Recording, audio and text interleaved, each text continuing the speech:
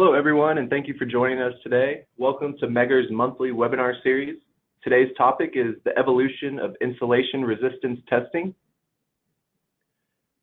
My name is Jamie Smith, and I'm the digital marketing specialist for Megger North America, and I'll be acting as a moderator for today's presentation and also supporting you on any uh, technical issues or questions for our presenter.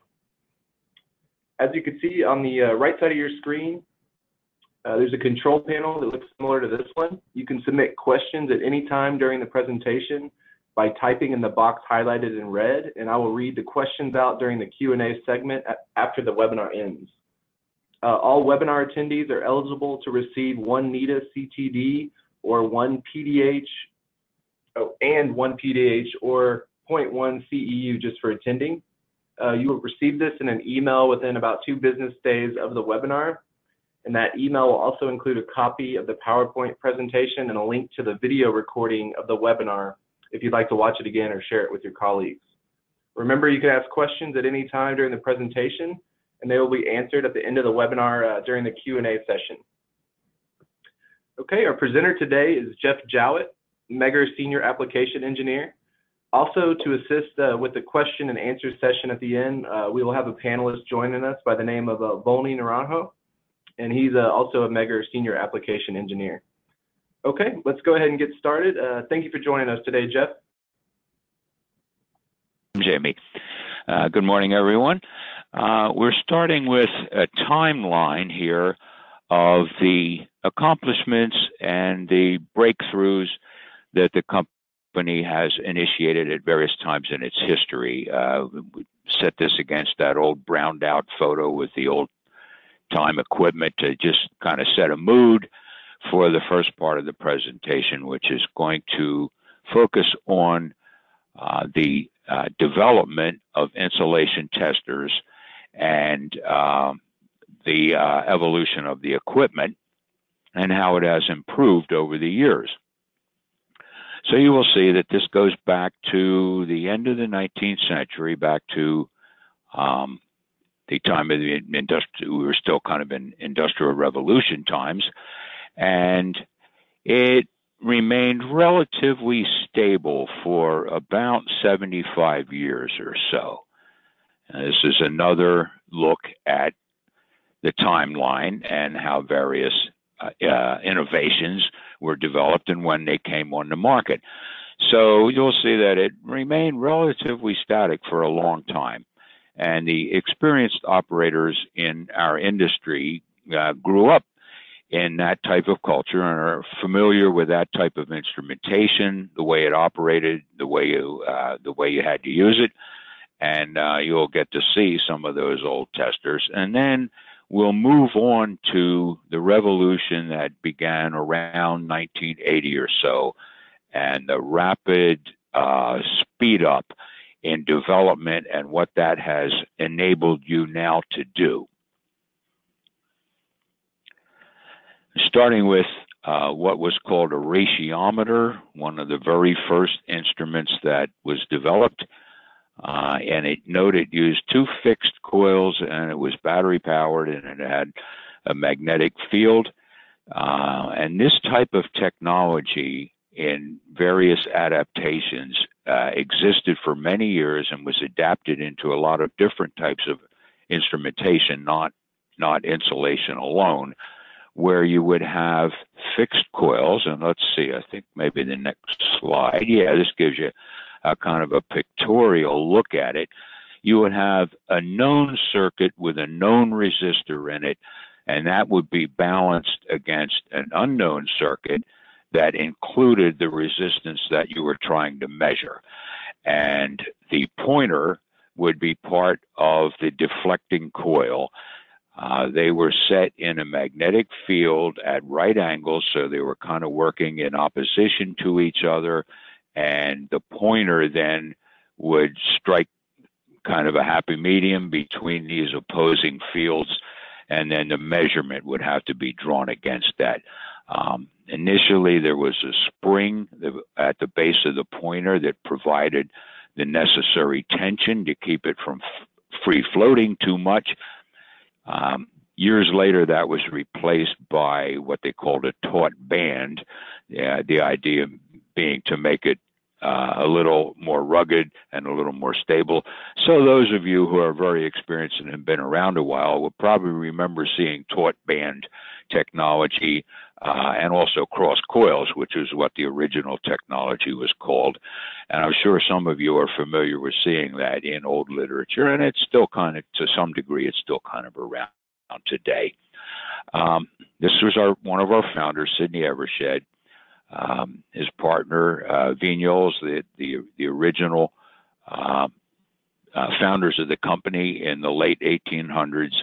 Uh, it was called Evershed and Vignoles, Vignoles, and you still see those letters EV. They still pop up sometimes. That's where they come from.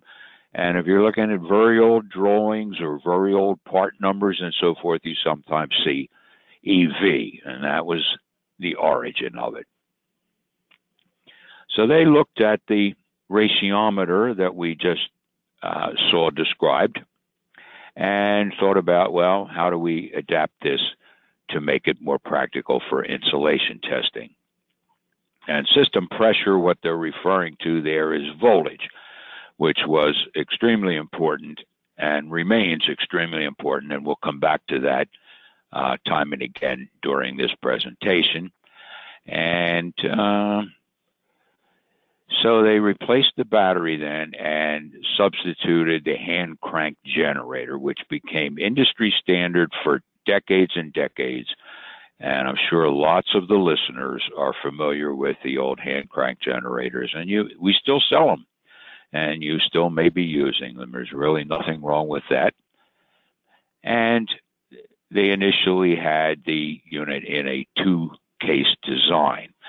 This is a look at one of them, which was the generator part of the unit, where we had the hand crank generator on board. And note the, tech, the, the type of technology that went into this a wood case.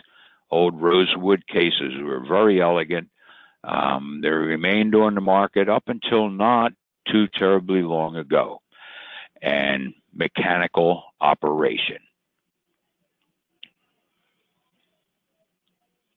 Then they put them together in the same box. The first self-contained insulation tester, uh, the, the moving coils, which I which I have already described. And here's a look at that old circuitry then with the hand crank generator serving as the power source. You've got the known circuit with the known resistor, um, you've got the deflection circuit with a kind of a stabilizing resistor in there, but the main component of that was the insulation under test. And they were working against each other and driving the pointer and reaching a compromise between the two forces that gave you your reading. And at that time, they trademarked the name Megger because it measured into megohms or millions of ohms and then that became the general general industry name for an insulation tester, but the correct term for it is actually a megohmmeter, but it's so identified with our trademark that it's typically known as a megger. And here is the old original unit. These were called meg types. They're still around. They look kind of like old Lionel train transformers. Some of them are still out there operating. I occasionally get calls on them, and I'm sure a lot of you have seen them and are familiar with them. Very nice unit, very easy to operate uh, and carry around, and uh, quite well built. There's a look at the display. And the old units adopts floating position. What that means is uh, until they were energized by the crank, they were purely mechanical, and each one was different in its own little way. And the pointer rest position was characteristic of the specific unit. One unit from another, they would have different rest positions on the pointer. Here's another look at how they were made internally. Note they were pretty labor intensive, uh, not very amenable to mass production and there were a lot of electromechanicals involved. And the scales had to be hand drawn. And the way they would do this then is uh, each unit individually would be placed across a variety of known resistors, and then the person would mark where the pointer stopped against that particular resistance, and then they would draw the rest of the scale around that. And every individual unit was designed and built in that manner, very labor intensive, uh, rather creative, and each one was quite individual. And as we moved ahead, the Meg types were replaced eventually by what are called major meggers, and these are still on the market today. Uh, very similar to the one we see here. This is one of the original ones. Uh, they're not exactly the same, but they're very similar.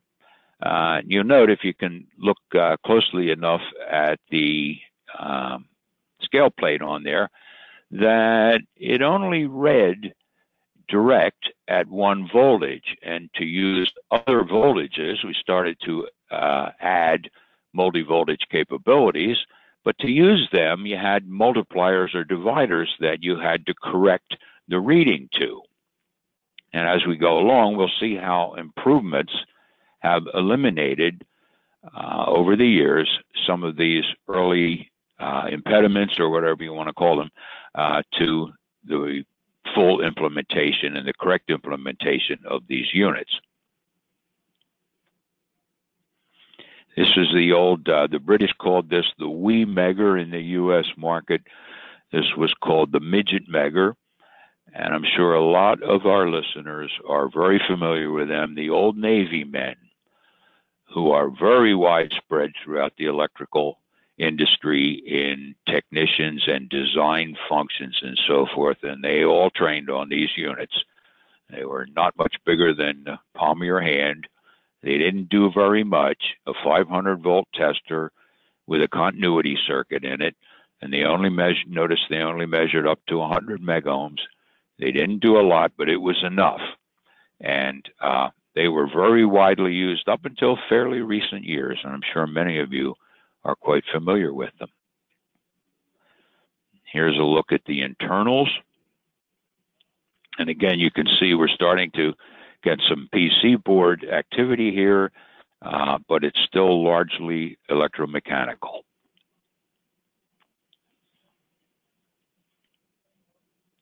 And so for that long period, about 75 years ago, uh, years or so, uh, we note that the instruments were not that much different. There was some little bit of advancement here and there, but nothing tremendous, just a little bit of improvement now and then, like for instance, the, the taut band that I already mentioned.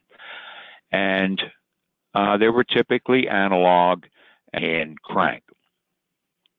Then eventually battery power started to come into use, but uh, it, the initial employment of battery power, not speaking of insulation testers in, in particular, but in electrical test equipment in general, uh, there were a lot of problems with the old battery powered units, and one of them is listed there, which would be uh, electrolyte leakage, which would get into the workings of the unit and do a lot of damage.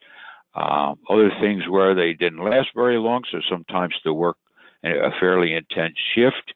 You had to take several sets of batteries, and if you forgot, then you were in trouble. Uh, another thing that they would do is, as they started to get low, the the uh, accuracy of the readings would start to drift. So, if you go back to maybe the 50s or 60s, uh, early 70s, there were a number of papers that were written pretty much denouncing battery power. And you some of those you might still see around, and if you ever run into an application note like that, take a look at the date on it.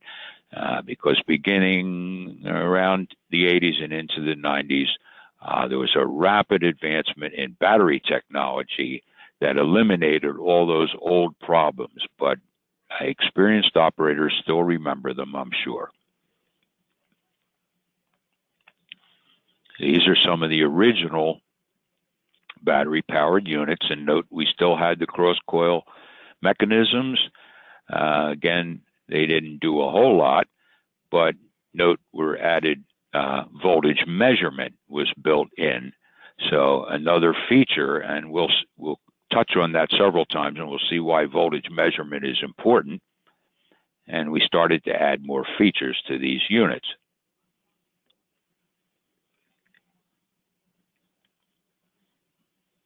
And now we're looking at uh, the, the inception of the electronics. And so that took us into roughly the late 70s, early 80s. That's where the real revolution in the development of these units began. And uh, there's a couple of comments here that sort of cover the important points that began to develop and appear on the market at that time. Uh, a point that I'd like to make is that up to about this time, operator involvement was very important in the uh, in, in the use of insulation testers, but the operator involvement had mainly to do with uh, operating the equipment properly, uh, getting a good reading, making sure you got the right reading, and uh, not committing errors, things things of that nature. Now the modern units have eliminated most of those problems. And they're very easy to operate, but there is still uh, a considerable requirement for operator involvement, but it's for all the things that you can now do. So there's a lot more capabilities built into the units. And again, the operator wants to familiarize himself with the various features and the different things that can be done and be able to maximize their use. And we'll we'll go and take a look at those. So, I guess kind of the final slide in this particular part of the presentation. This is what we now have today uh, PC board operated units as opposed to the old electromechanicals. And remember, those old units gave you a very good reading. They were good quality units. They were reliable. Um, they just didn't do as much. And they did, as I said, take more operator involvement. So now we'll take a look at the insulation tester itself, what it does, and then we'll go into the various individual features, what they tell you, and how you can kind of maximize their use. Um, the purpose of the tester is to measure insulation, that is to say, the components in electrical equipment that are not current carrying, that are there to retard current and keep it directed in the circuitry and not going to ground, which leads to malfunction. Uh, but more importantly, it also uh, represents a danger, a potential danger to the operator. So that's what insulation is doing for you. And you want to be able to test it and measure it and make sure uh, that it's maintaining its maximum capabilities and that your equipment is still, your electrical equipment is still functioning properly uh, and is safe. And note, we now have direct reading. All the old manipulation is gone. Uh, you select a test voltage, and you se- and it's a, simply a matter of a selector switch position, and you get all the information you need. We measure up into teraohms. I'll talk about that a little bit later. Uh, and the bottom point there, the test method is non-destructive. Uh, in order to measure insulation, you need a lot of voltage, but you do not need very much power because there is very little current involved in an insulation test. If there's much current passing, that's telling you that it's not insulation anymore. So you don't need very much current to do a good insulation test. Consequently, The testers have a lot of voltage but very little power, and they are non-destructive and they're non-injurious at the same time. They can sting you a little bit, but they they can't really even a even a 15 kV tester can't actually injure the operator uh, himself. But uh, at the same time, the test item can be dangerous, and we'll come back and we'll talk about that. So these testers are non-destructive. That's a main differentiation from a HiPOT or a dielectric strength tester, which is more commonly called a HiPOT. HiPOTs uh, function in very much the same way that an insulation tester does, but they have more power. They're not concerned with measurement, they're concerned with killing the weak, taking something out of service before it can do damage in service. So always, you know, keep that distinction when you're dealing with instrumentation, keep that distinction in your mind an insulation tester versus a HiPOT.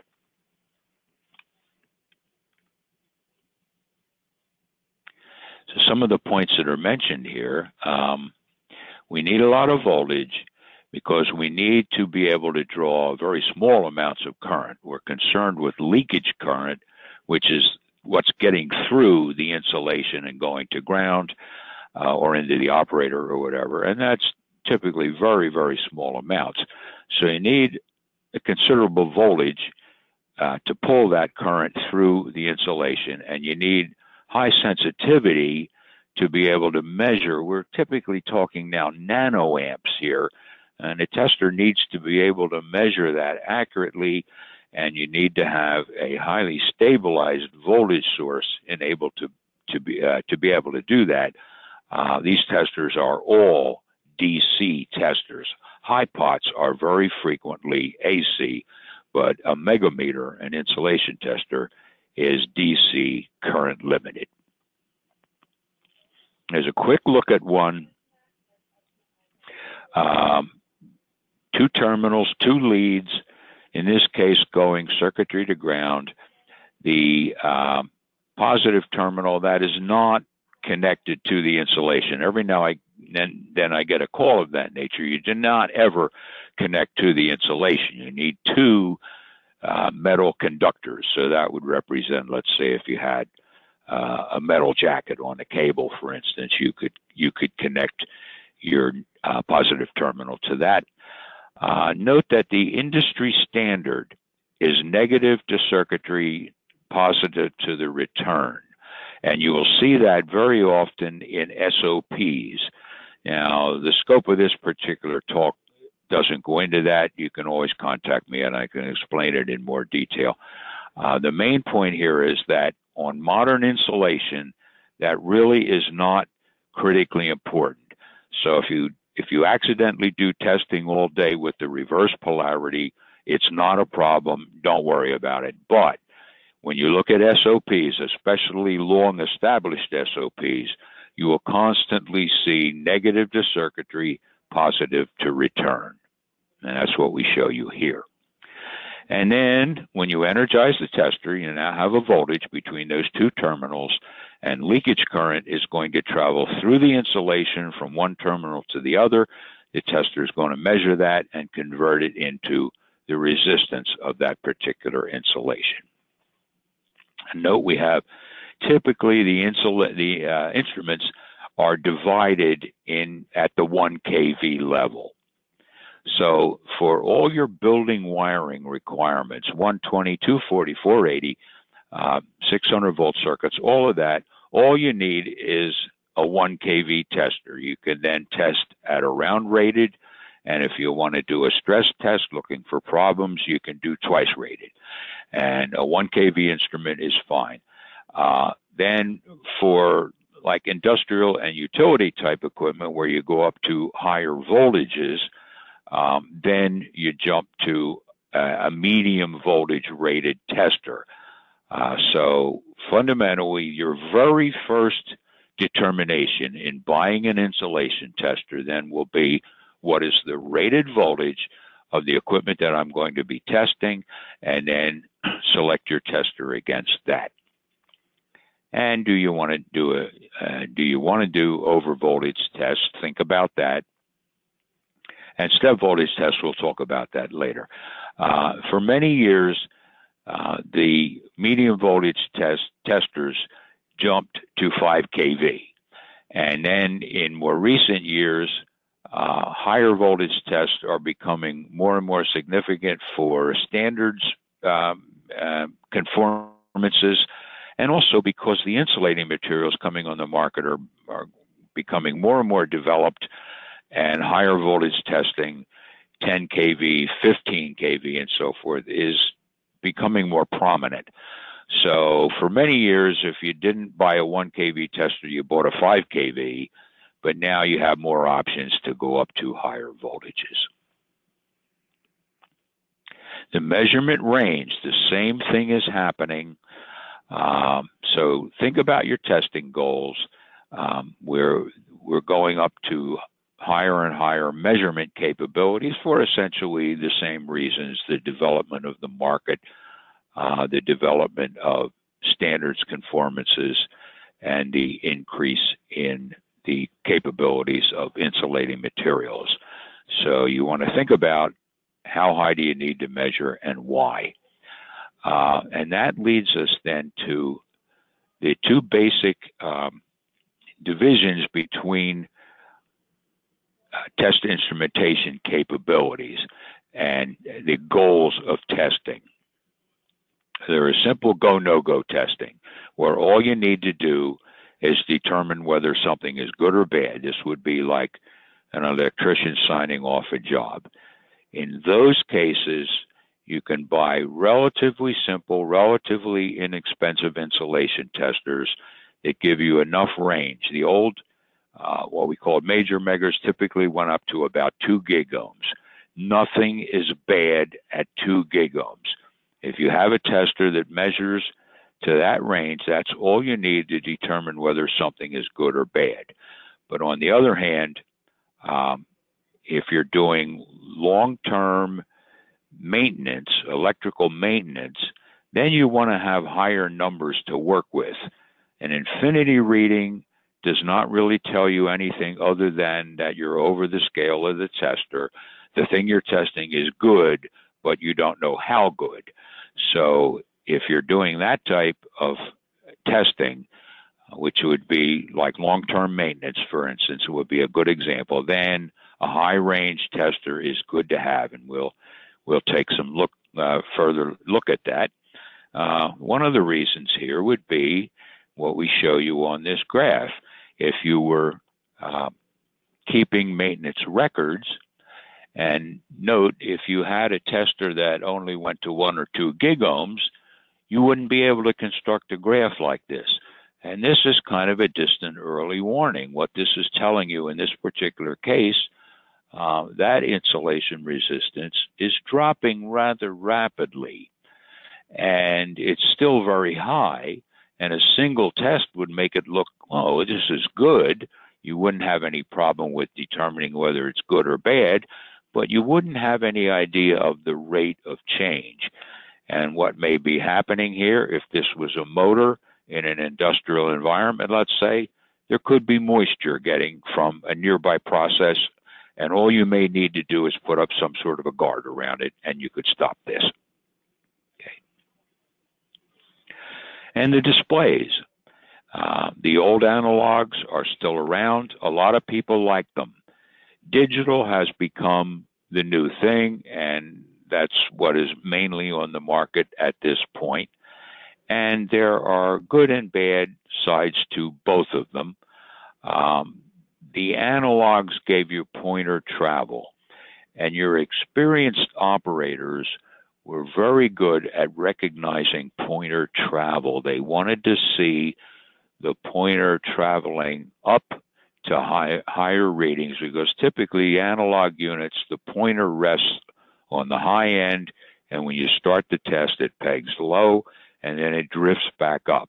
And, and those experienced operators were looking for smooth pointer travel. And if they got that, hey, that was good. If the pointer is, is uh, stuttering, falling back, something like that, there's a problem with the insulation, something's going on, and might be arcing, for instance.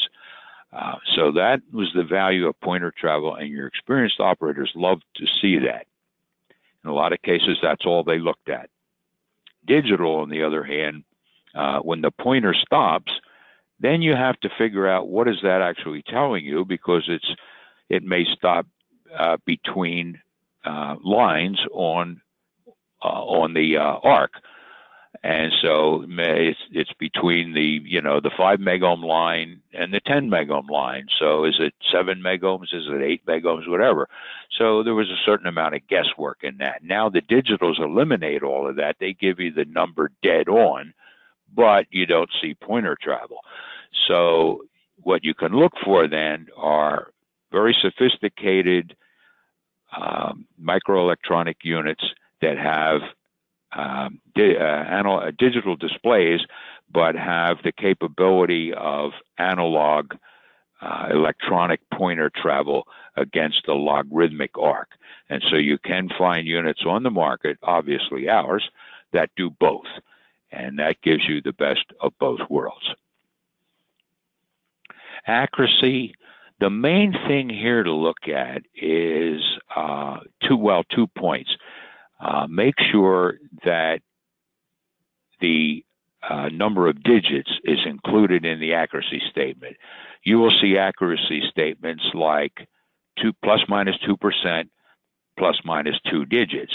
No digital instrument can fix the last digit on the scale. It will always jump up and down a little bit, but you don't want it jumping up down very much. So make sure that your accuracy statement includes the number of digits because some manufacturers are relatively, uh, how, how should we say, poorly designed equipment uh, will omit that because it's not very good. It may be six digits. So make sure that you look for that. Uh, and then the other thing to avoid uh, is uh, uh, percentage of scale or something like that, because then uh, units that are specified in that manner, the accuracy varies as you go across the scale because the scales are typically logarithmic. So um, look for one that gives you uh, the accuracy statement as percent of reading. In other words, it's the same accuracy at all points. So if you have a 2% accuracy, it's 2% at 1 megohm and it's 2% at 1 gigohm or whatever. So those are the two things to look out for on accuracy statements. Now, voltmeters. We pointed uh, a while, a few slides back, we pointed to the voltmeter capability when it was started to be added into insulation testers. For one thing, it's a convenience. It saves you the ability to, uh, you know, having to, if you want to know what the voltage is, you don't have to go get an, another unit and hook it up. So it's a nice convenience. But far more important is the safety function of a built-in voltmeter.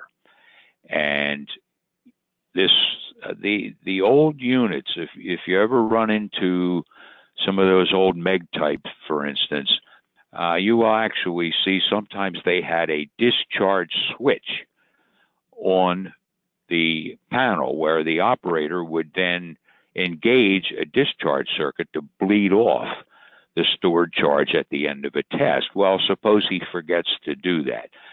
So we'll talk a little bit about that because it's extremely important in terms of safety. And if you're ever dealing with uh, you know, new hires, uh, apprentice electricians that are, you know, it's their first day on a job or something like that, always make sure that they know about the discharge function on an insulation tester. First of all, insulation tests are always performed on de-energized equipment, never on live equipment, but equipment can go live for a variety of reasons.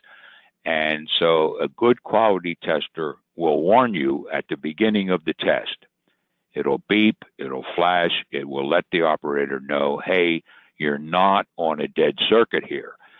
And uh, that mainly protects the instrument. Years ago, uh, guys would hook up, they wouldn't know what was going on, they would press the test button, and then they would cook the tester. And we would get the repair department would get insulation testers back for so-called warranty repair, and they open them up, and there's a burn track across the board from one terminal to the other. That is not warranty repair. You put 5,000 volts or something on this, and we told you not to do that. That has all been eliminated on a good quality tester. Uh, not only will they tell you, but they will also uh, uh, prevent the operator from energizing the tester if there's voltage on the test item. So when you're buying a tester, make sure that it has that capability. Otherwise, you're liable to lose it relatively quickly, like first day on a job. Um, so they will inhibit testing. And the other thing that they do, that's at the beginning of the test or during the process of the test, because sometimes someone will go and throw a switch, which you have turned off but didn't lock out, for instance. Uh, but at the end of the test, you also want to uh, de-energize the test item. The tester is not dangerous. The test item can be because you can store a large static voltage in the construction of the thing that you're testing. A, a, big motor winding, a long run of cable has a lot of capacitance in it. That will charge up and that will be stored at the end of the test. The operator goes up and tries to disconnect the leads and accidentally gets across the voltage. That can be lethal. Uh, a good quality modern tester will automatically begin a discharge circuit and tell the operator that that's happening. So all you have to do is look at the display and it will tell you what is going on. Okay. And we'll look at a couple more of the functions. Um, your continuity range. Most of your um, now your your medium voltage testers don't really need that and don't have that in there, but your 1 kV testers virtually all have a continuity range in there. This is low voltage, low resistance. It's for the opposite side of insulation, which is circuitry. It's a means of telling you that your circuit has been properly connected, there were no wrong connections made at a junction box, uh, and that all your bonds are good.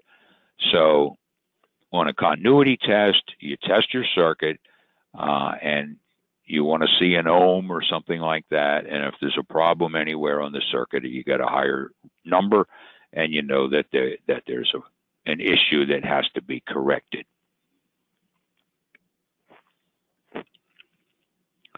And uh, the kiloohm range now, uh, again, this is a range that's intermediate between your continuity and your megohms. Here you're measuring in thousands of ohms.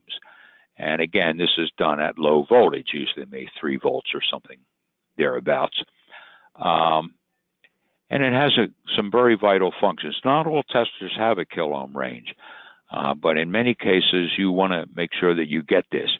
Uh, for one thing, it verifies a faulted test item. So you can hook up and run a test, and you run on a megohm scale, and you run off the low end of the scale. There's a fault on there somewhere.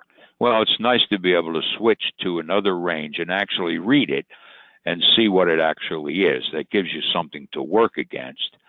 And it's a very good feature eh, in something like drying out flooded equipment, uh, which in certain parts of the country, of course, and we've been hearing a lot of this in the news over the last few years, that in certain parts of the country, this is huge. Equipment that has been underwater does not necessarily have to be replaced it can be reconditioned. Drying it out is very important. And you can use your kiloohm range then to see what kind of resistance reading do you get when it's flooded, and then periodically check it as you're drying it out and see that it's becoming effective up until you get into the megohm range. And also, a lot of times components and subassemblies have lower insulation values because they're going to be buried inside a bigger piece of equipment where there is other insulation to protect the operator from ground. So the subassembly only needs to meet performance requirements and they can be lower. continuity buzzers. Uh, these are a good way of getting in and out of continuity testing quickly by not having to look at the numbers. Uh, you just get you can set a buzzer and hear the. Okay, the buzzer goes off. You made you made the uh, the continuity level and you're good, and you can move on. But um,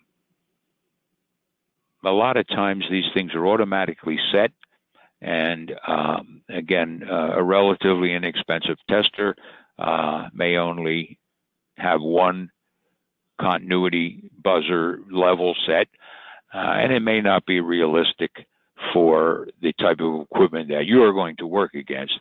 So you can look for testers that have multiple um, continuity buzzer functions and that the values that you can set are practical against the equipment that you're going to be working on. And the guard terminal. Some testers have this, some testers don't. Um, it's a shunt circuit. You don't have to use it, but it gives you an extra capability if you do. And we'll talk about that in some degree. Um, it does it does not stand for ground. Uh, if you hook it up as a ground, you ju- all you're doing is defeating the purpose of your test. You won't do any damage, but you just won't be getting a valid test. So the guard terminal, you don't have to use it, but it, whatever you connect to it, it will shunt that leakage around your measurement and will not be part of your measurement. And here's a good example uh, of a guard terminal application on a cable termination Note that one phase has been connected to the positive terminal. The other phases and the braid have been connected to the return. So now you're measuring that one phase against the rest of the cable. But note that where your alligator clips are, uh, the dirtier or more moist this cable termination is, that provides a good current path. And so you can get surface current tracking across from one alligator clip to the other. That will bring down your reading. That will include more leakage current in your reading and it will lower your reading.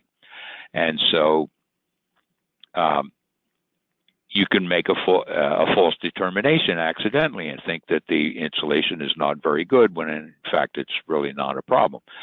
So if you were to wrap a conductor around the cable termination and run that back to the guard terminal, that leakage would be removed from your measurement. Here's another quick look at uh, a simplified schematic. With the guard terminal, you have uh, two paths, two leakage paths in parallel, and you take one of them out. And another good application, again on a bushing, uh, you can, the moisture in the dirt on the bushing can track current from one terminal to the other. Uh, put a bushing guard spring on there, run it back to the guard terminal, and you eliminate that, and you only see what leakage is getting through the ceramic. Okay. And uh, guard terminal performance, this is something you want to look at when you're purchasing a tester.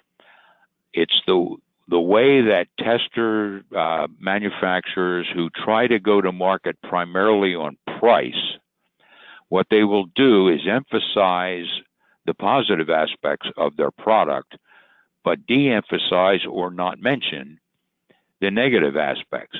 And one of the errors, areas in which they can save on design costs and manufacturing costs is on a guard terminal. So it takes a good degree of engineering to properly design a guard terminal because this is a relatively low resistance circuit that is competing with a high resistance circuit, which is your measurement circuit. And it's competing for a limited amount of leakage current. What some manufacturers do is put a high resistance in the guard terminal circuit. This defeats the point, the purpose of having the guard terminal. On the other hand, if you have it at low resistance, now you've got a potentially dangerous path into the instrument for your arc flash protection. So uh, a, a low guard terminal uh, resistance can defy your uh, arc flash protection, your IEC 1010 protection. So it's a balancing act between these two competing functions to design a good guard terminal. And consequently, you will see products on the market that have a guard terminal error as much as we've seen 80%. And remember, when you add any additional fun- any calibration technician out there knows this. When you when you put any additional function, there's going to be a certain amount of error associated with that. But what you want to do is minimize that. Our particular products have a 2% guard terminal error, so they're not contributing very much to your reading when they're engaged. But on the other hand, you want to be able to maintain your arc flash. And so always look, arc flash protection, that is. And so uh, always look for that in your specifications. And then uh, data storage and downloading, uh, a very convenient feature. The old days we used to sell test record cards, uh, and then the operators would hang those in jackets on machinery, for instance, and when they tested it, they would put a value in and they would draw lines between the dots and so forth. And that's how they kept their records. And now this is all done very conveniently, uh, very electronically. And the main function, well, it's, of course, it's very convenient in terms of uh, if you're the online maintenance man and you have to go back to your records to make determinations. But one of its best features is that third bullet there. Uh, it eliminates human error and it prevents a lot of argumentation, especially if you're dealing with third parties, clients, uh, or inspectors or people of that sort who are, can raise arguments. What do you mean gig ohms? Are you sure this wasn't megohms? Well, you got the automatically stored record to prove your point. Okay. And some other things to just take a quick look at. Uh, if you noticed, if you remember when we showed those old instruments, ergonomics was not a big factor on those old instruments, but now it certainly is. And ergonomic design can be very important, especially if you're using the same piece of equipment all day long. So uh, you do want to look into that. And things like backlight, backlights, locking test buttons, and so forth. Take them into consideration uh, because doing something once and doing it several dozen times, like during the uh, course of a workday, can be a big difference. So keep that uh, under consideration. Okay, uh, IP rating. Here's another uh, in, independent. In the old days, these things didn't exist. And so uh, manufacturers would just make empty verbal claims, uh, rugged, uh, watertight, things like that. And what does that mean? Not, not necessarily a whole lot. So independence agencies, mostly in the latter part, the last 20, 25 years or so, uh, have developed where they set independent standards aside. And these aren't done by the manufacturers, these are done by nonprofit organizations like IEC, for instance. And so um, uh, you can refer to those, and your IP rating gives you uh, the ingress protection or moisture and dirt. How can it get inside of your unit? In the old days, we used to see, especially like in the mining industry, we would get instruments back for repair and they would be packed with uh, uh, you know powder from from uh, stone being mined and so forth or coal dust or something like that. And that would be all over the pc board and uh, that's the end of the functioning of the unit. So look at your ingress protection. Uh, these are a quick look at some of the numbers and what they mean and just make sure that you uh, ma- uh, match your IP rating to the environment in which you're going to be using your piece of equipment. Okay, uh, load graph. Again, you want to see a very quick, very sharp rise up to the voltage at which you intend to test, and you don't uh, you don't want your voltage to load down uh, at the low end of the insulation spectrum until you get to what is actually not good insulation. So you note this is a good load graph. So this shows you, for instance, that at 5,000 volts, by the time you're up to about 5 kV, uh, which would be the minimum acceptable uh, insulation resistance for a 5,000 volt circuit, you're getting 5,000 volts out of your tester. What you don't want to get is something like this, where it gets there eventually, but over the low end of the resistance scale, and that's where you have to make your most critical determinations, is when the insulation is getting down towards its low end, but is still good, is still operative, but you've got to make some decisions. When do I want to test this again, or when do I want to take it out of service and recondition it? And if you have a, a poorly designed tester with a poor load graph, that is not going to give you valid information. So look for your load graph. Okay. Contact detector, uh, I have to kind of pick up the pace here a little bit. Uh, what that mainly tells you is your continuity circuit is low resistance.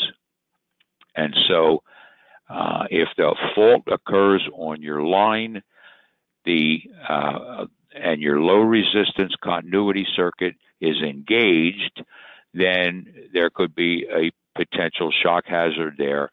A good quality tester with a contact detector, it will not shift from the input protected insulation range down to the lower resistance continuity measurement range until both leads are connected.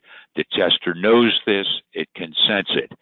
And so you won't have, uh, let's say, a dangling lead or a lead that's connected to metal frame, let's say, uh, while the low resistance continuity range is engaged in the event that during those few seconds or whatever some fault occurs on that line.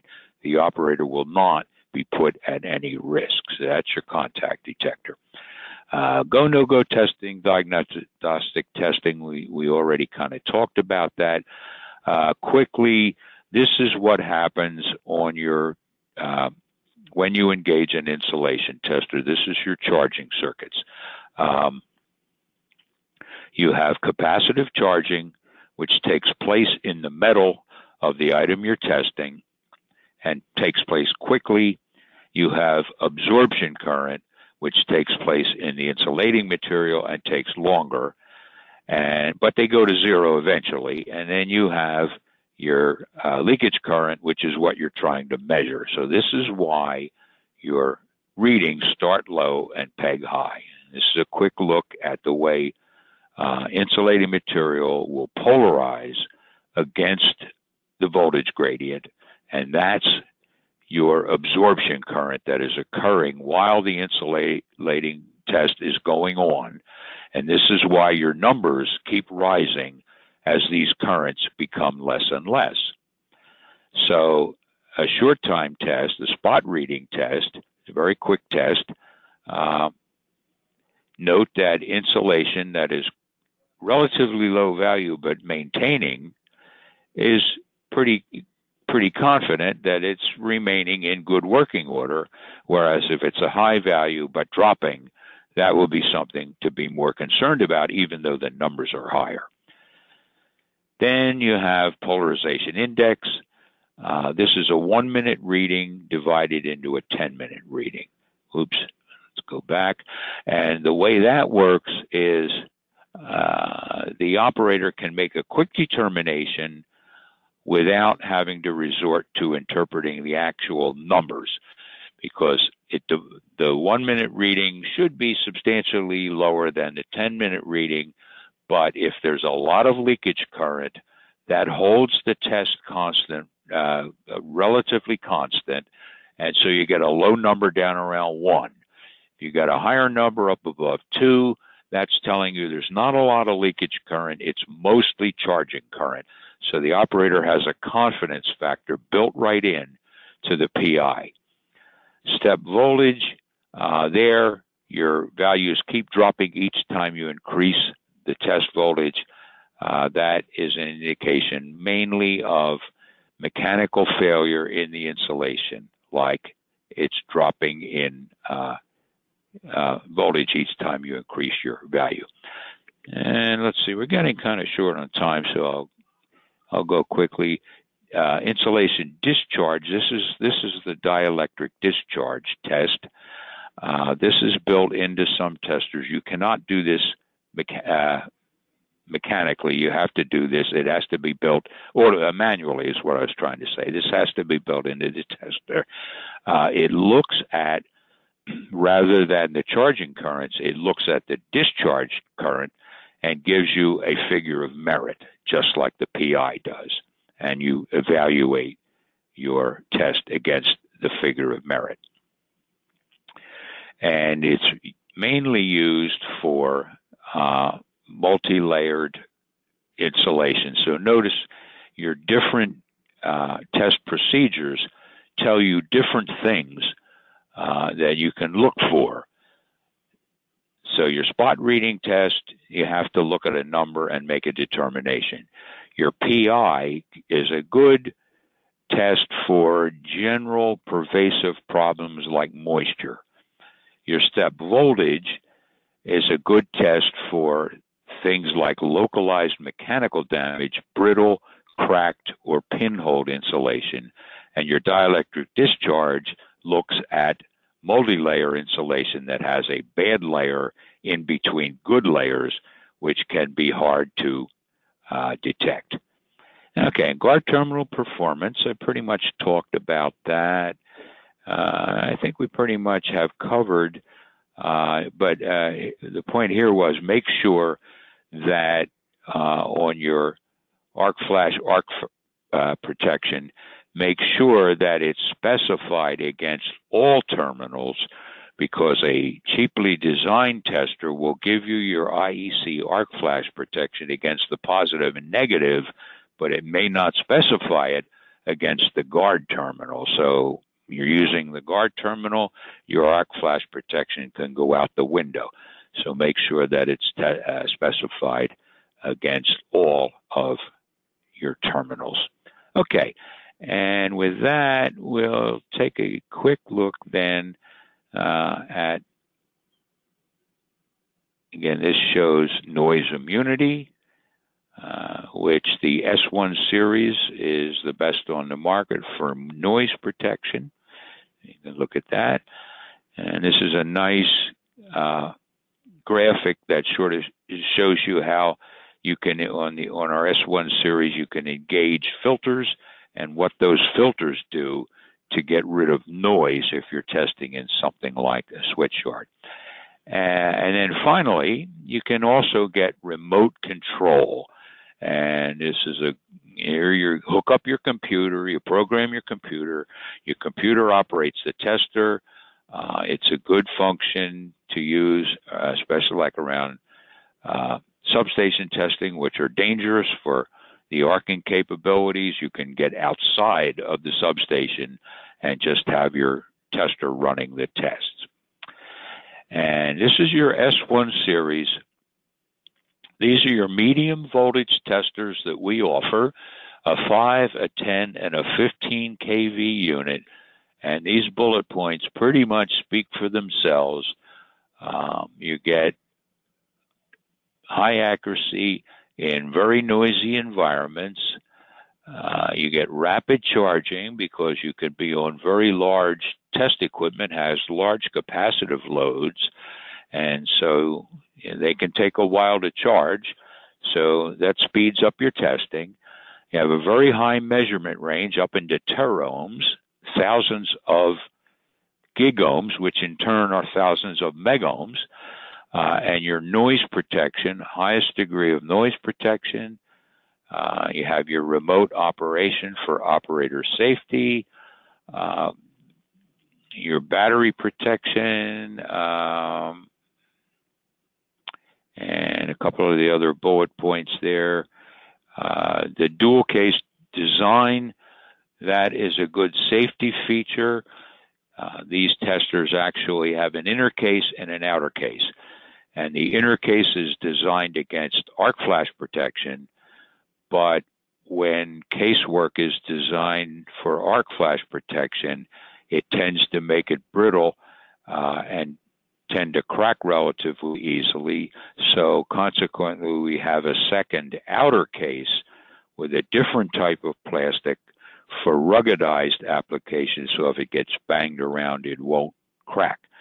Uh, so very good protection of the operator for safety and of the equipment for long life. Okay.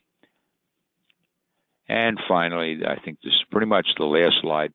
Our uh, our 1 kV testers note that the old mechanical analog units are still available.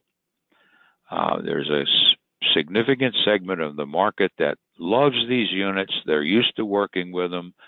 Uh, they they want to work with that. That's what they're familiar with. That's what they know how to implement the most effectively. We still keep them available, and then we go to the microelectronic units, which are full featured, and all you have to do uh, we have relatively inexpensive basic function units like the MIT 200 and 300 series, which if all you need is pass fail, then that's all you need to buy and you can save money. But if you're going into uh, demanding and full featured applications, then you go to the MIT 400 series, the top of the line series, the best handheld 1 kV units on the market. And uh, on any of our data sheets, all you need to do is uh, there's an organization table, and all you need to do is go left to right and see which features do you like, which features do you not need, and you can stop on the specific model that best meets uh, your application. And with that, I am finished this part of the presentation and we will now go on to your questions. All right. Thank you, Jeff. Uh, at this time, the presentation portion of the webinar is officially concluded. And uh, all right, we're going to now take about uh, 30 minutes to answer as many of your questions as possible. If you have any questions that you haven't submitted already, you can go ahead and submit those now into the Q&A box, and we'll try to get to those if we have enough time. For those that are leaving, when you close the webinar window, a survey should pop up on the screen. We would greatly appreciate it if you could take a couple minutes to provide your feedback so we can continue to improve upon our future webinars. Uh, on the survey, there's also a field where you can request demos or quotes of any of our Megger products, so feel free to do that. Um, also, a copy of the presentation, along with a link to the video recording of the webinar, will be emailed to everyone within the, uh, about two business days. So early next week, you should receive that. And um, you could also view recordings of previous webinars and upcoming uh, webinar, our upcoming webinar schedule on our website at us.megger.com backslash webinars.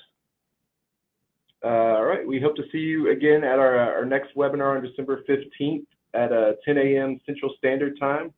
And that one is going to be uh, titled Effect of Different Voltage Waveforms on Partial Discharge Results on Medium Voltage Cables. And that's presented by Jason Sushak, uh, Megger Application Engineer. So I hope to see you guys at that one as well. All right, now let's get to some of your questions.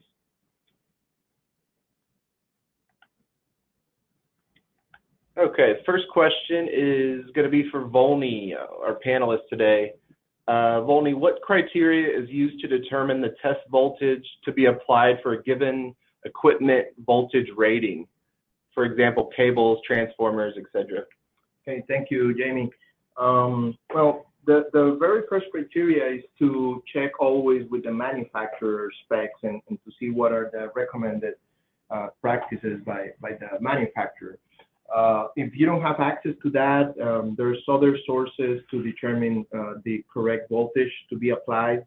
And um, one of these sources is the NETA table 100.1, which is a very useful table. And, and always, um, when selecting the voltage, you want never to stress the or the nominal voltage or go higher of the than the nominal voltage of the equipment, uh, or uh, as Jeff mentioned so in in in some of the present in some of the slides, uh, you can go two times. And also there's some specific uh, criteria for other equipment like rotary machines. So there's it's not a straight answer. You don't want to uh, break down the the insulation. You just want to create a current or circulate a current to measure to be able to measure the resistance. Okay, thank you, Volney. Uh, next question uh, for Volney again. What does the SOP acronym mean? Well, that um, I guess uh, step of potential probably it's uh, uh, one of the tests that uh, Jeff mentioned, which is also uh, a useful test to determine if an insulation is, is in good condition. This is a test in which you uh, increase the voltage every minute and you do five steps and you are expecting to get a linear, not a linear, but a constant value of resistance. Resistance should not change with the with the voltage that you're applying should be like a, a constant result. And if you have a, a, resistance that is decreasing as you increase the voltage, then uh, it's an indication that there might be some partial discharge inside the insulation or and that it, you might need to take some maintenance actions on that insulation. Okay. Thank you, Volney. And uh, yeah, I did want to make a I did want to make a, a an addition or a comment on that uh, because uh, uh I think Volney mentioned that I mentioned that a couple of times in my presentation. Uh, there's a lot of them that are around, and if you have to work against an SOP, um, it might be a good idea if you have a date on it. What happens is organizations write these things like a particular company might do that.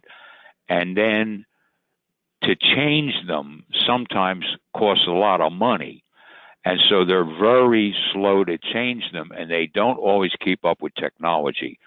So it could be that you'll run into an SOP that has recommendations in it that that you're saying, oh, you know, why do they want me to do that? Or, you know, it doesn't sound quite right. So uh, if if there's a date on it, that helps you a lot in figuring out. Oh yeah, well the reason such and such isn't mentioned is that that didn't even exist when this was written. So uh, uh, you're always welcome to contact me at the at the office. Uh, it's a very common thing that I get uh, questions on them, and so you're always welcome to uh, contact me. I can't overrule an SOP, obviously. That has to come from whoever generated it, uh, but I would be glad to comment on it. All right. Thank you, Jeff. Okay, next question is for Volney again. Uh, what would be the minimum acceptable resistance for a wire with 600 volts insulation? Okay, as uh, Jeff also mentioned, like a go no go value will be uh, something below two mega ohms is, something to investigate. Higher than that, you might uh, let it go and, see that and, accept it as a, as a pass value. However, if you are trending values, you, you want to take note of, the value and check that the minimum uh, recommended in NETA value is uh, 100 mega ohms. So that that will be like a reference uh, value for a 600 volt uh, equipment, not only a cable but but any other equipment, not including uh, rotating machinery. That has a different table or, reference values. All right, thank you, Volney. Next question is for Jeff. What is the difference between an earth measuring device with a megger? Okay, I'd like to thank the person that answered that, uh, asked that question because that's a great question. Um, I actually include that in my, typically include that in my presentations uh, on on uh, ground testing. Don't try to use an insulation tester; it comes up all the time. Uh, one of the reasons is a lot of times they look alike, um, reasonably. And so uh, if you go to like a tool crib uh, at the beginning of a shift and you're handed your equipment, it's not at all uncommon to be given the wrong tester, and then the guy doesn't really look at it. He goes out to the job and then he he's trying to use it and it doesn't work. Uh, but it's a great question. Uh, ground testers are at the other end of the resistance spectrum. So insulation is high voltage, high resistance. Ground testing is low voltage, low resistance. You want your ground rod to be as little resistance as possible. If you can get a tenth of an ohm, that's wonderful. Although it's hard to do, but uh, that's what you the kind of thing you like to see. So for a, a ground tester, they're on the other end of the scale. Uh, they operate differently in the sense that the uh, the two circuits, current and insulation, are separate. Obviously, uh, current and voltage. Uh, excuse me. Uh, in an insulation tester, you've got two leads, so your current and voltage are kind of incorporated into the same circuitry, and the tester just measures it. Uh, but on a ground tester, the uh, potential circuit and the current circuit are separated, and they're applied separately to the ground by critically spaced probes. And then you grab, you know, you take your readings and and you interpret your results against the position of the vo- of the voltage probe. And the problem with that is that the current probe has a resistance associated with it. And you're trying to measure the resistance of your ground rod. And you don't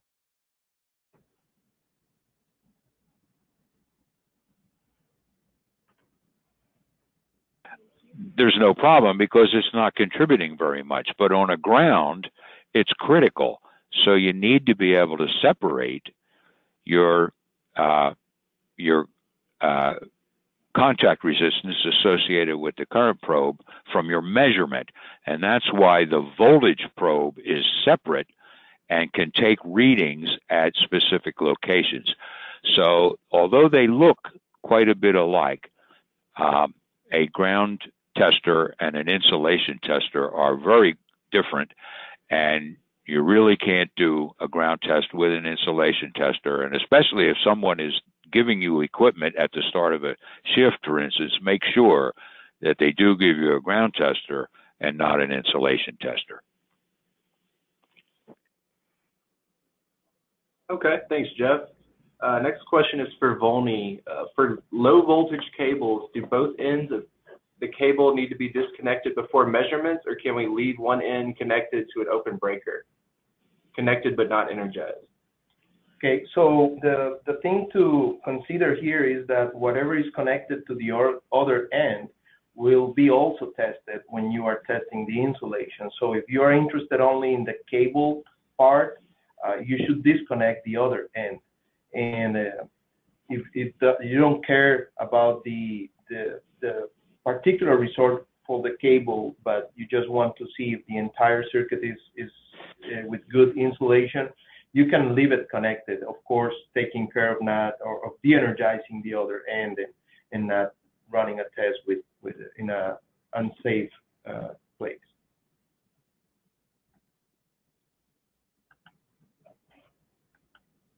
All right, thank you, Volney. Uh, next question is for Jeff. Have you or are you aware of test programs that correlate cable insulation aging test results against insulation resistance tests? Uh, okay, uh, I'm sorry, there was a distraction there. Um, we're looking at um, test programs that correlate cable insulation aging test results. Uh, have you are you aware of the test programs that car? Oh, uh, I'm just trying to. I'm sorry. I beg your pardon uh, to the listeners there. I'm just trying to focus that question. Uh,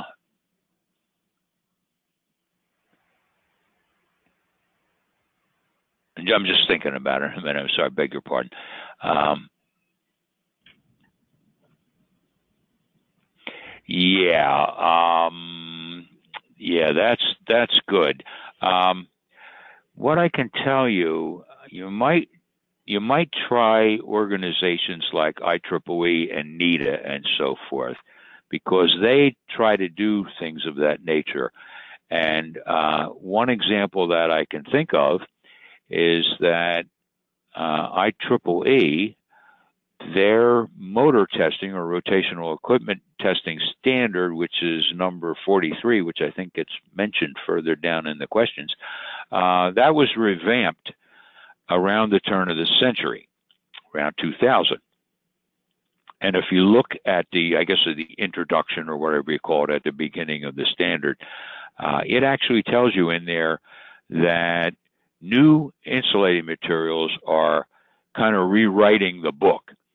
And they actually wanted the data. So they, beginning around 2000, they were requesting anybody to send them data, send them insulation tests, uh, and the, you know the type of equipment that was being tested and what the results were and all of that, and they were trying to do something like that. So our own particular company, uh, we don't specifically get involved in that ourselves because that's the kind of thing that should be spearheaded by uh, nonprofit independent organizations that you know don't have a stake in it, and then we try to keep pace with them. So if IEEE says we recommend that such and such be done, well, then as a company, we try to accommodate that with our instrumentation. And a good example is what I just stated, the IEEE 43, when they when they reissued that in 2000, they stated in there that they would like to see up to uh, 10 kV insulation testing uh, on equipment that's rated at 12 kV or above. Anything above, they were ha- satisfied or happy with a 10 kV test. So we immediately brought on the market a 10 kV tester.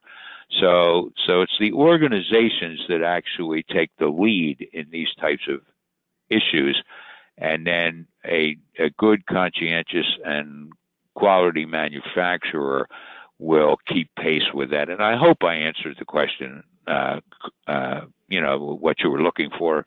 Uh, and if not, you can certainly come back to me and I'll, I'll try to elaborate. All right. Thank you, Jeff.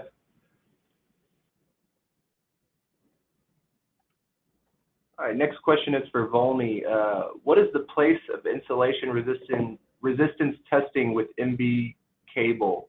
Uh, second part of the question, there are other tests like AC, VLF, tan delta, etc., that seem to be uh, the types of tests to use. Can test results actually tell whether a cable is bad or good?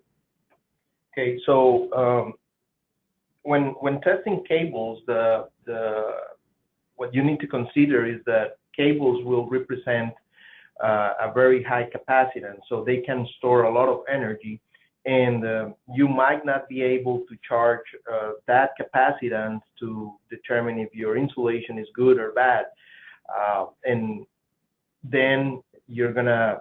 That's when you start uh, to. You need to use a, a, another type of equipment for cable testing, and that's why uh, these other tests, the, as tan delta or very low frequency uh, tests on cables have been developed for diagnostics. Also for for the fault location, you need a lot of energy to be able to uh, create a, a fault once uh, that you can locate when whenever you are trying to to find the place of that location. So uh, there's a, a, point where insulation testers would not be able to uh, help you on on these activities and uh, and they might be good for whenever you have a very bad situation on a cable that you can need to determine if it's a go no go, but not for diagnostic or not for cable fault location. For that, uh, definitely you need something else, and and we need, we are talking about medium voltage and, and up. Okay, thank you, Volney. Uh, next question is for Jeff. Uh, for a given insulation resistance of cable, for example, for example, is there a permissible margin that can be applied for pass-fail criteria? Okay, let me just thought about that. For a given insulation resistance of a cable, is there a permissible margin that can be applied for pass-fail criteria? Okay, very good question. Uh, the answer is yes and no. And I'm not trying to be funny there, but uh, what it is basically is um, it, it's really a really good core question because you will see in the literature assigned values. And if you're satisfying yourself, use your own judgment because if you're if you're a megohm lower, for instance, does that mean that the test item is no good? No. Um, but unfortunately, a lot of times you're going to be working against independent authorities, and what you want to keep in mind is that these these uh, assigned arbitrary these assigned values are arbitrary, generally done by something like committee. Uh, they're not rigidly scientific. Um, so an example I can cite is the phone companies have settled on 100 megohms for installation of plain what they call POTS, plain old telephone service. Okay, so if you're the uh, technician who's running these lines, then you know you've been told they have to be 100 megohms. Now, does that mean that a 99 megohm line or a 95 megohm line is no good? Of course, it doesn't. Uh, it may work fine for many years, but the company is trying to reduce the number of uh, callbacks, you know, service calls where something gets installed and then the customer doesn't have satisfied uh, satisfactory uh, operation out of. And they call the company, and, and it's a costly service call. So they sat around a room full of people at one time or other, and they, they decided, okay, 100 megohms is a reasonable value, uh, so we'll put that in the spec. So anybody working against that, then yeah, they have to make that. But if you're operating on your own, um, the more experience you have, the better an operator you are, and you feel free to make your own judgments because um, insulation will work fine until it gets down to very low values, and most of these um, assigned criteria have a very high degree of safety margin built into them. And I hope that answers the question anyway. Like I said before, if not, you're always welcome to get back to me and I can, you know, elaborate on it more.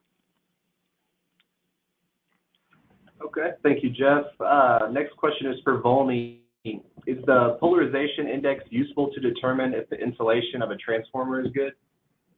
Okay, that um, the, the, polarization index uh, or depends on, on the material that you are testing being able to be polarized. And uh, when you when you have oil, oil is it doesn't polarize. So the values that you get uh, when you test the transformer are very close to one. Uh, the the good thing of so that doesn't tell you too much, but the good thing about running a polarization index on a transformer is that there is a lot of contamination. Uh, then you will be able to to see that during the test, your polarization index will be very low. So uh, it, it can be used, it, uh, but it, you have to be careful when using it because uh, a value close to one or not too too high uh, above one doesn't mean a bad insulation. So that is uh, kind of the the precaution to have there. All right, thank you, Volney. Uh, next question is for Jeff. Uh, can the temperature of the wire you are testing affect the results or measurements that your tester is giving you? Uh, yes, it can. In fact, it's very profound. And it's one of the most fundamental things you want to take into consideration when you're doing insulating insulation tests. The higher the temperature, the lower the insulating value. And just just to give a, a general idea of magnitude, about a 10 degree centigrade rise will cut insulation values about in half. So it's quite pronounced. And you definitely do, especially if you're keeping records, you do need to include the temperature uh, in in any kind of test result, and you can very often correct to a common temperature base. Software can do that for you. So very often you, you, you may be working with software or with an instrument that has it built in where you where you can correct to a temperature base. And you also anybody else who's going to be looking at these results needs to know that, especially if they're going to try to repeat the test. Because if someone else repeats your test at another time at a radically different temperature, they're going to get a much different result and they're going to get the wrong conclusions. Uh, and another thing uh, in, in consideration is whether equipment has been operating or not. So if you came in in the morning and the facility has been de-energized all night and you tested a motor, for instance, uh, you'll get a pretty high reading most likely. Uh, if the motor had been running half of the shift and then you shut it down and immediately do a test, obviously it's going to be warm, and so the reading is going to be decidedly lower. So yes, uh, take temperature into consideration. Uh, you can correct to a common temperature base and store records that way, and definitely include in test results the temperature at which the test was taken. Right, thank you, Jeff. Uh, I have another question for you, Jeff. Um, IEEE 43 says that readings above 5G on a motor, generator, etc., are greatly affected by factors other than insulation resistance, and therefore PIs are not recommended as an assessment tool in this case. What are your thoughts on this? Okay, uh, okay. They picked five gigohms. Yes, uh, in general, I would say that that was well thought out. Uh, we've been hearing that a lot re- in recent years. Um, up until, you know, uh, maybe turn of the century or thereabouts, uh, PIs were pretty generally used and pretty generally accepted. But uh, now the capabilities, both the readings of the insulation itself and the capabilities of the uh, testers going much higher uh, now we have, you know, guys that are up doing tests in the teraohm range, and they they're doing a PI test, and they're getting very low PIs. Well, the re- reason for that is because by that time you're measuring so little current that you're not going to see very much of a change, and uh, you know, from one minute to ten minute, and you're getting a low PI, and and people are conditioned to looking at the traditionally uh, accepted PI values and getting the wrong conclusions. And so, like I said on one of the earlier questions, these agencies, uh, uh, standards agencies that are nonprofit, independents, and so forth, they set the trends. Um, they tend to be conservative very much, but a lot, a lot of times they're the ones who really uh, regardless, they're setting the trends and changing the rules. And I think IEEE's on the ball with this. And uh, yeah, I would basically, the, you know, the five gig ohm value, of course, is like all of these things, is somewhat arbitrary, uh, but it's arbitrary in the right direction. And as a general rule, yeah, I would follow that. Uh, PIs are very reliable and a very good test when you're down into the megohm range and in the low gigs. But once you get up above that, the number itself uh, becomes so overwhelming in importance that that's what you want to work with. Okay, thank you, Jeff. All right, looks like we're almost out of time. We're going to go ahead and answer one more. Um, this last one's for Jeff as well. Uh, there was no mention of the DAR test, uh, dielectric absorption ratio. Can you uh, speak on that, Jeff? Yes, no problem. Uh, this fits right in with what we've been saying regarding the uh, change, the radical change in newer insulating materials, huge polymeric plastics or rubber materials um, have much different responses to an insulation test than the old materials of you know paper insulation and things like that that were that were on the market for nearly a century. Uh, so that question fits right in with the whole uh, uh, course of of this particular presentation, which is to say that was then and this is now, and we have a lot of adaptation that we need to do, and uh, and that fits right in with it. Uh, the DAR is like a PI, but with shorter time intervals. Uh, 30 seconds into one minute or one minute into three minutes. Those are the new values that are typically being used in DAR testing because the absorption ratios uh, are becoming, uh, the absorption times are becoming much shorter on these newer insulating materials and, and basically that's what accounts for the DAR test. And so if you're, especially if you know that you're working, if you're working on old equipment that's been around for quite a while, uh, you know, maybe you can stick with a PI. But if you're on newer insulating materials and real high end stuff and all, uh, yeah, go to the DAR test. All right. Thank you, Jeff. Uh, looks like that's all we have time for today. Uh, we had a lot of questions, so a lot of them weren't answered. So we apologize if we did not didn't get to your question, but we will follow up with you offline, hopefully in the next couple of weeks, to get those questions answered for you. Just want to thank everyone for attending. If you can please remember to answer the survey. Um, that's it. Thank you all again for attending and have a great weekend.